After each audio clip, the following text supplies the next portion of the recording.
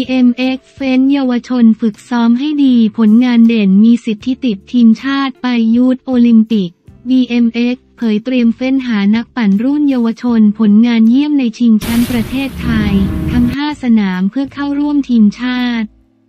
เตรียมความพร้อมร่วมชิงชัยมหากรรมยูทโอลิมปิก 2026 เสมึกพลเอกเดชาเหมกระสีนายกสมาคมกีฬาจักรยานแห่งประเทศไทย เผยว่าสมาคมกำหนดจัดการแข่งขันจักรยาน BMX ชิงแชมป์ประเทศไทยประจำปี 2567 สนามที่ 2 ระหว่าง 24-25 กุมภาพันธ์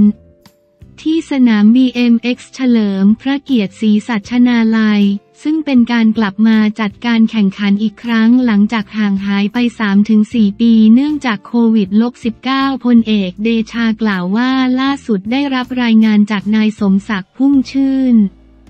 นายกเทศมนตรีเมืองศรีสัชนาลัยแจ้งถึงความคืบหน้าในการปรับปรุงสนาม BMX เฉลิมพระเกียรติศรีสัชนาลัยว่าได้มีการบดอัดดินให้แน่น และปรับปรุงภูมิทัศน์ให้มีความสวยงามยิ่งขึ้น พร้อมที่จะต้อนรับนักกีฬาจากทั่วประเทศ เวลานี้ก็เริ่มมีบรรดานักปั่นจากทีมต่างๆ มาฝึกซ้อมที่สนามบ้างแล้วในส่วนของโรงแรมที่พักมีนักปั่นและผู้ปกครองไปจับจองเอาไว้เกือบเต็มแล้วหากนักปั่นหรือผู้ปกครองท่านใดยังไม่ตัดสินใจจองที่พัก อาจจะได้ที่พัก ซึ่งไกลออกไปจากสนามมากพอสมควร จักรยาน BMX ชิงแชมป์ประเทศไทยในทุกสนาม นับตั้งแต่สนามที่หนึ่งไปจนกระทั่งสนามที่ห้ามีความหมายต่อนักกีฬารุ่นเยาวชนเป็นอย่างมาก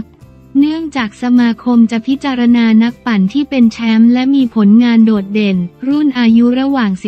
15-17 ปี เพื่อคัดเลือกเป็นทีมชาติไทยไปแข่งขันกีฬาโอลิมปิกเยาวชนเยาวชนฤดูร้อน 2026 ที่เซเนกัลระหว่างวันที่ 31 ตุลาคมถึงวันที่ 18 พฤศจิกายน 2569 ซึ่งเมื่อถึงปีพศ 2569 นักกีฬาจะมีอายุ 17-18 ปีตามหลักเกณฑ์ของสหพันธ์จักรยานนานาชาติ UCI พอดี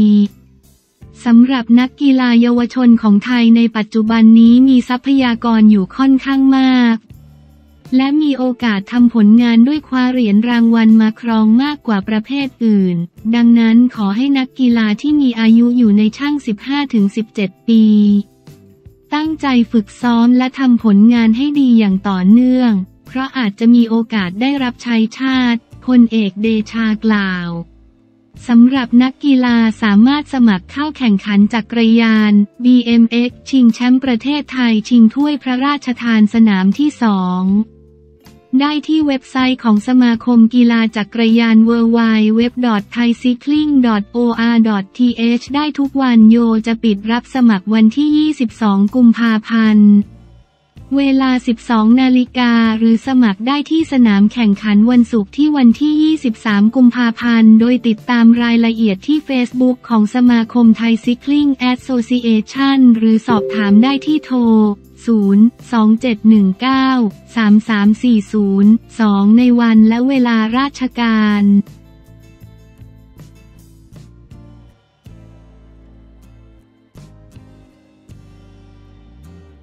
BBC ช่วยยันเอ็มบัปเป้คุยค่าเหนื่อยลงตัวซบเรอัลมาดริดรับเงินมหาศาล BBC สื่ออังกฤษช่วยยืนยันว่าคิลิยันเอ็มบัปเป้แนวรุกทีมชาติฝรั่งเศสบรรลุข้อตกลงย้ายจากปารีสแซงต์แชร์กแมงไปร่วมทีม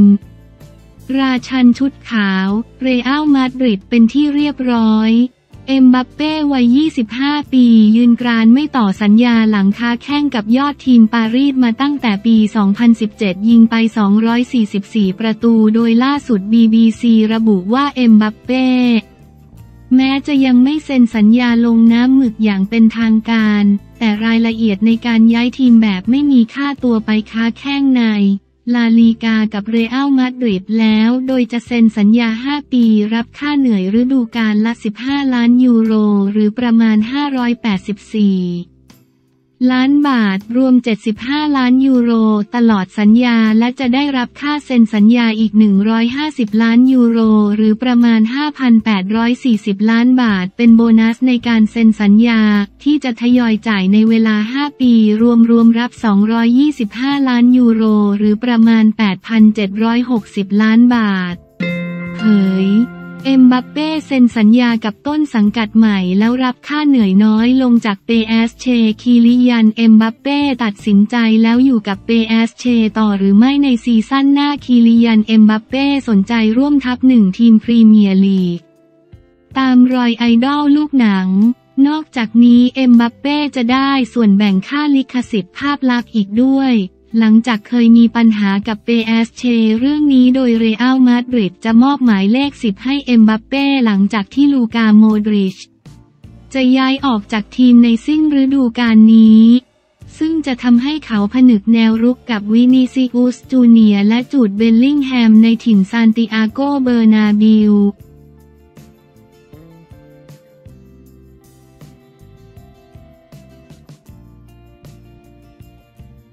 แพรรี่แนะสาวจะทำหน้าให้ดูที่หมอไม่ใช่จะดูแค่โหงวเฮ้งเป็นที่ฮือฮาพอสมควรสำหรับแพรรี่ไพรวันวรรณบุตรครีเอเตอร์อินฟลูเอนเซอร์คนดังที่มีผู้ติดตามจำนวนมาก ก่อนหน้านี้ได้ออกมาบอกอำลาหน้าจอ เพื่อเตรียมตัวไปทำศัลยกรรมที่ใบหน้า และปลูกผมตามที่ตั้งใจไว้แพรรี่แนะสาวล่าสุดแพรรี่ออกมาให้สัมภาษณ์อัปเดตหลังพักงานในวงการบันเทิง เพื่อไปทำสัญญกรรมได้ประมาณสองเดือนที่ผ่านมา พักงานไปทำสัญญกรรม เป็นยังไงบ้าง ตอนที่หยุดงานไปก็ไปปลูกผมก่อนค่ะ เสร็จแล้วก็ทำจมูกกับคางคุณหมอบอกว่าทำครั้งเดียวเจ็บแต่จบไปเลย แต่ตอนทำสุดยอดเลยค่ะ น้ำตาเล็ดเกือบจะยอมแพ้ เพราะจริง ๆ เป็นคนกลัวเข็มอยู่แล้วด้วย ตอนที่ฉีดยานี่คือที่สุด พอยาชาออกฤทธิ์ก็ไม่ค่อยรู้สึกเท่าไหร่แล้วค่ะ ทนได้เพื่อความสวย หัวเราะ พอใจไหม เจ็บ แต่สวยและโอเคมากๆ กับผลที่ออกมาค่ะ นี่ก็ยังทำได้ไม่ถึงสองเดือนดีด้วยนะคะ ได้ขนาดนี้ก็รู้สึกว่าพอใจค่ะ โดยเฉพาะปลูกผมนี่ก็เจ็บและใช้เวลานานเข้าห้องผ่าตัด ตั้งแต่เที่ยงออกมาอีกทีตีหนึ่ง เพราะว่าปลูกไปหกพันกราฟเป็นคนที่ไม่มีผมเลย ผมหายหมดงงมาก หัวเราะ คุณหมอบอกว่าแปด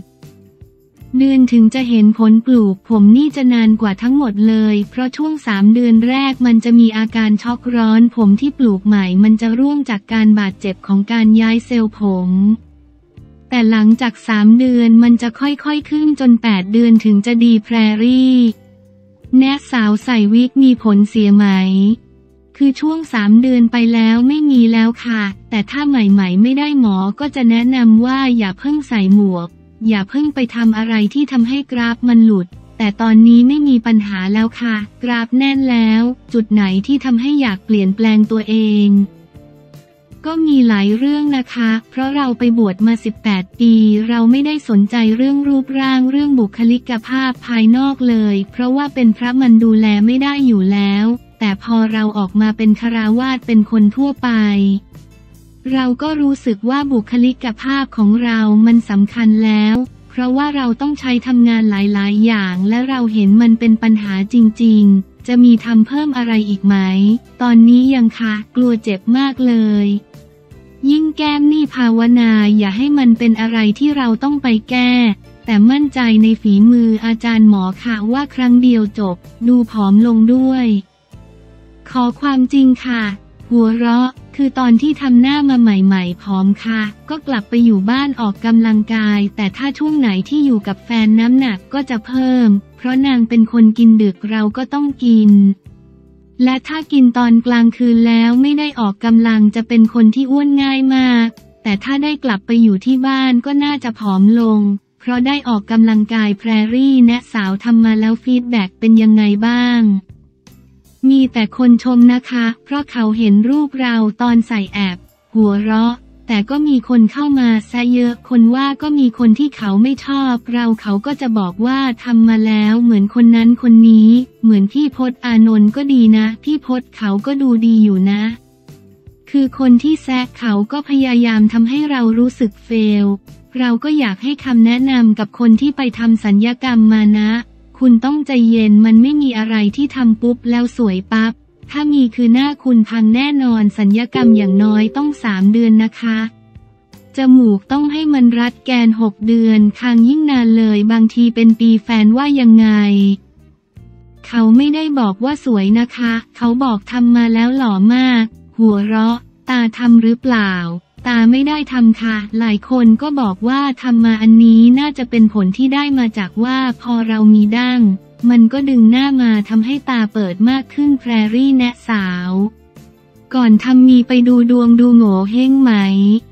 ไม่เลยค่ะ ดูหมอที่จะทำค่ะ บอกไว้เลยนะคะ คนที่จะทำสัญญกรรม อย่าไปดูดวงดูโหงเฮงแต่ให้ดูหมอและคลินิกให้ดี หัวเราะ ถ้าทำมาแล้วหน้าพังอะไรก็เอาไม่อยู่นะคะ อยากเตือนเพื่อนสาวนะคะทำหน้าต้องดูหมอ ไม่ใช่ดูฮวงจุ้ยโหงวเฮ้ง เตรียมหน้าใครเป็น reference ไหม ไม่ควรนะคะ ควรให้หมอเคาะจากหน้าเราเลย เราอาจจะมีทรงในใจของเราว่าเราอยากได้ทรงนั้นทรงนี้แต่ใด ๆ คือฟังหมอว่าทรงกับหน้ามึงได้ไหม หัวเราะ อันนี้พูดถึงตัวเองนะที่เราอยากได้แต่จริง ๆ คือทรงกับหน้าเราไม่ได้ เราก็จะฟังอาจารย์หมอเขาแนะนำแค่บอกคุณหมอว่าทำยังไงก็ได้ที่ไม่ได้ออกมาแล้วเหมือนหน้าเดิม บอกแค่นั้น หัวเราะ ฟอร์ดมีอยากทำบ้างไหม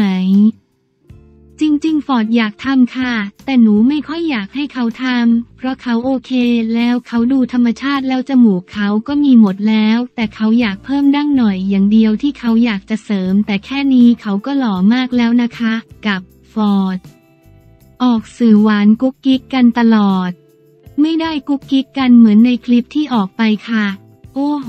ล่าสุดนางกรวดน้ำให้หนูแล้วนะคะ ไปดูในคลิปได้เลยหนูบอกให้รินน้ำให้หน่อย มันกรวดน้ำให้หนู หัวเราะ จริง ๆ ก็หยุมหัวกันทุกๆห้านาที เพราะด้วยความที่เขาเป็นเด็กเขาก็จะขี้กวน แต่บางทีเราไม่อยากเล่นเขาก็กวนแล้วชอบให้เราโมโหชอบให้เราวีนแล้ว เราก็วีนแล้วก็ด่าสนุกดี หัวเราะ